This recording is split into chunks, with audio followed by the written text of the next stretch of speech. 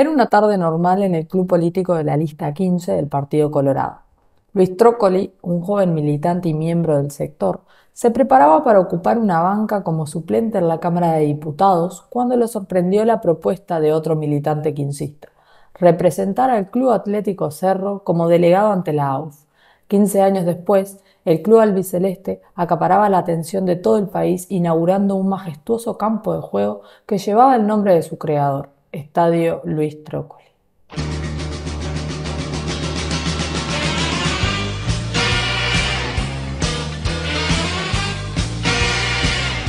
Bienvenidos y bienvenidas a un nuevo capítulo de La Pelota Manchada, un podcast de historia en el que vamos a hablar de dos pasiones, fútbol y política.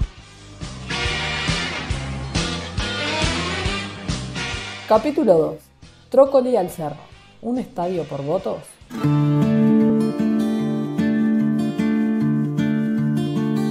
Según el diccionario de la Real Academia Española, el clientelismo es una práctica política de obtención y mantenimiento del poder, asegurándose fidelidades a cambio de favores y servicios. En otras palabras, el clientelismo político implica que el dirigente partidario ofrezca recursos, bienes y servicios a sus clientes a cambio de fidelidad y apoyo electoral.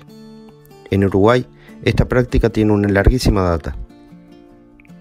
Los pocos trabajos que hay escritos sobre este tema destacan la importancia de los clubes políticos barriales como espacios fundamentales en la configuración de las redes clientelares.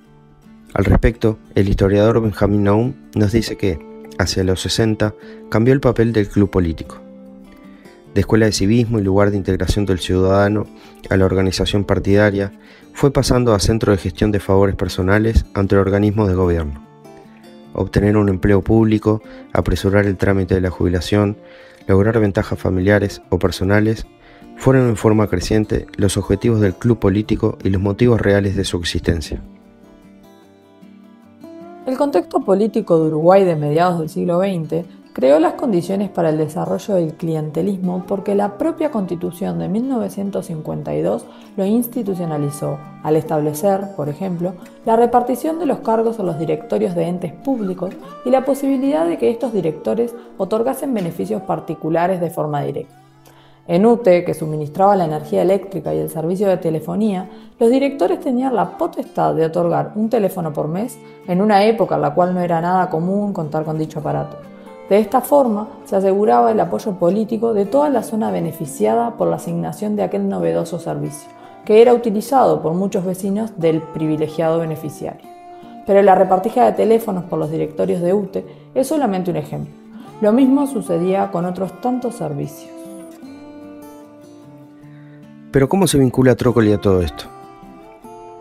Luis Trócoli nació en Montevideo en 1921 a muy temprana edad se vinculó a la política sumándose a las filas ballistas del Partido Colorado. Desde 1946 el ballismo quedó dividido en dos grupos, uno muy conservador y otro más progresista, identificados con la lista 14 y 15 respectivamente. La lista 14 era liderada por los hijos de José Valle Ordóñez, los Valle Pacheco, quienes controlaban el diario El Día, referente ideológico del ballismo. Por su parte, la lista 15 tenía como líder al joven Luis Valle, sobrino de don Pepe. Trócoli acompañó desde sus inicios a Luis Valle, presentándose como una opción renovadora dentro del sector que intentaba retomar el segundo impulso reformista interrumpido por la crisis del 29 y el golpe de Estado de Terra en 1933. Por otra parte, Trócoli fue presidente del Club Atlético Cerro entre 1949 y 1964 y previamente había ejercido el cargo de delegado del club ante la AUF. Durante su presidencia fue que se construyó el estadio del club, que en su honor se llamó Estadio Luis Trócoli.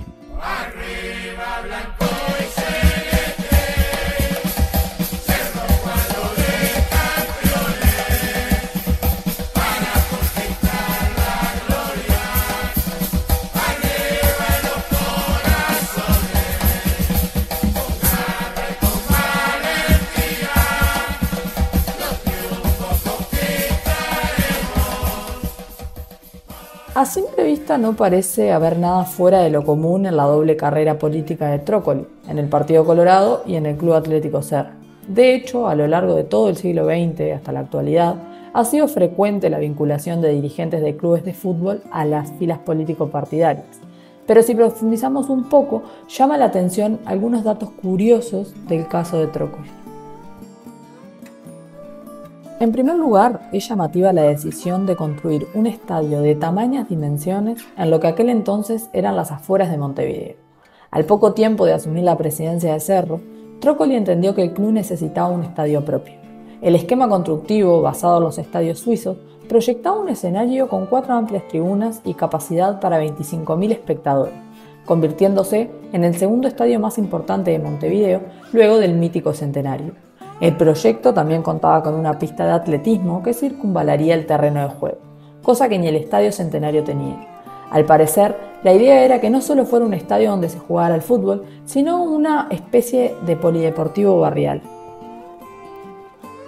Teniendo en cuenta esto último, la construcción del majestuoso estadio en aquel popular barrio de Montevideo puede ser interpretada como un conjunto de esos recursos, bienes y servicios nombrados por Naum el dirigente político busca otorgar a sus clientes y que operan en la consolidación de una identidad común a ambos actores.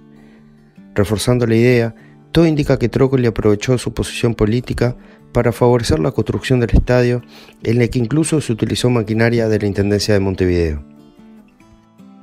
Además, la propia llegada de Trócoli al cerro llama la atención, ya que no era hombre ni del barrio ni del club. El dirigente que insista vivía en el Prado de Montevideo, zona algo apartada y distinta a la Villa Serrense. Una revista partidaria, editada en 1964 en el marco de la inauguración del estadio, relata cómo se dio el arribo de Trócoli al cerro. Allí se destaca que, ante la necesidad de cubrir la vacante del delegado serrense en la OF, al dirigente Juan García se le ocurrió preguntarle a un amigo personal, militante que insista, si en ese club político al cual asistía no había alguna persona con condiciones para desempeñar la delegación de Cerro en la liga.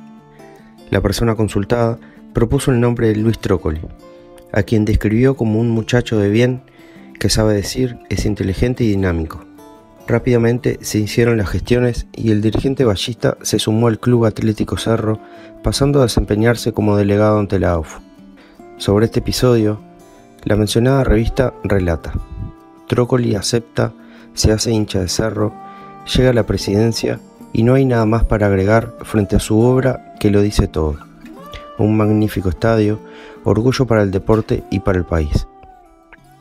Esto confirma que Trócoli no era hincha de cerro, más bien era un ajeno absoluto al club, y su llegada a la villa se dio directamente desde un club político ballista. Un análisis político de la situación permite atar todos los cabos sueltos de esta historia. Si se tiene en cuenta que en el cerro, donde vivían aproximadamente unas 40.000 personas, solían ganar los blancos herreristas, comienza a entenderse el interés de los ballistas por la popular zona de Montevideo. En la campaña electoral de 1962, con la cual el Partido Colorado intentaba volver al gobierno luego de la derrota del 58 con los blancos, las propuestas más radicales de la lista 15 tenían que ver con aquel barrio al proponerse la entrega de los frigoríficos a los trabajadores. Por último, un dato que llama mucho la atención. Mientras Trócoli presidía Cerro, a Rampla, el otro club del barrio, lo presidió Justino Carreres Aprisa, también política ballista de la lista 15. Carreres Aprisa no pudo construir un estadio porque Rampla contaba con el Olímpico desde 1923, pero impulsó una serie de reformas que dieron lugar a su reinauguración en 1966. Todo parece indicar que los ballistas llegaron al cerro en busca de la masa de votos de aquella barriada que solían terminar en el Partido Nacional. Con la construcción de un majestuoso estadio y la renovación de otro, Trócoli y Saprissa se vincularon con la popular barriada de una forma claramente clientelar. Si bien en las elecciones de 1962 el Partido Colorado no logró recuperar el gobierno y volvió a perder con los blancos, tanto Trócoli como Carreras Saprissa lograron ser electos como senadores por la lista 15 del vallismo.